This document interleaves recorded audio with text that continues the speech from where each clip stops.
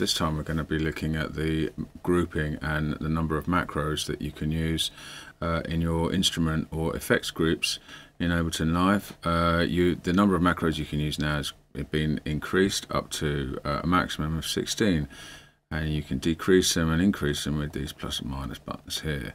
Um, you can add them to uh, whatever you want so let's just map these quickly.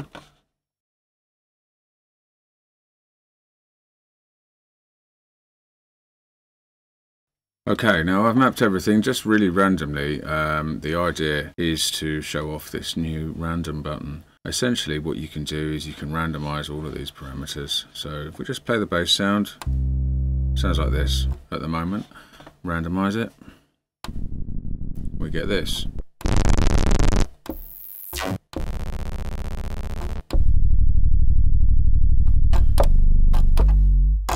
So some of these bass sounds sound great, some of them don't. The ones that sound good, you can store them as a, as a preset or a snapshot. So that's variation one.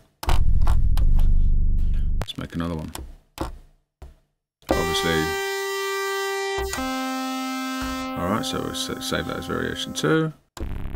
Some of them don't sound because I've uh, assigned them to the filter and sometimes the filter is just set so wrong that they don't sound. So we'll just keep going through. Okay so it's really easy to flip from one variation to the other which is fantastic. And of course all of this is MIDI assignable so you you can assign up and down buttons so you can toggle between all the variations. And uh, you can obviously you can assign your MIDI controllers to all the other bits as well.